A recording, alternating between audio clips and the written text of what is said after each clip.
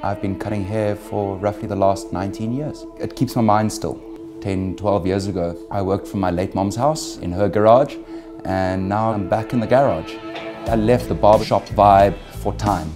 I only take 8 to 10 clients a day, work four days a week to spend more time with family, give clients more time, and be able to focus a little bit more on each and every single one of them the way that I cut, I took the salon industry knowledge of female hair cutting and put it into the way that I cut men's hair, taking into account face shape, hair texture, respecting the crown, and then actually giving the guy a personalized haircut, not just a haircut. In Afrikaans hulle soort soek soort, like looks for like. It's very hard not to become friends with my clients. We talk together. We all have a story. I'm grateful that my clients listen to mine and I'm very grateful that they have the confidence to share theirs with me. That's why I love what I do. And also to make you look cool.